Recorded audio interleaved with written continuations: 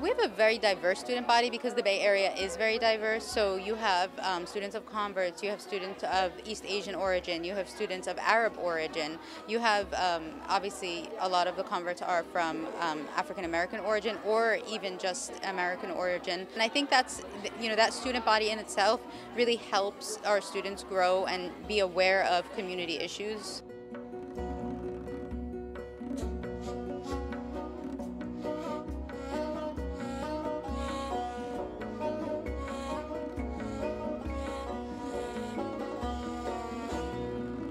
Banyak sekali ininya uh, kegiatannya terutama kalau Jumat malam tuh uh, mereka ada holakoh atau uh, uh, ceramah gitu. Biasanya juga nggak nggak harus nggak tentang agama, bisa juga tentang politik uh, sekarang atau tentang hak-hak warga negara uh, Amerika di sini bagaimana gitu.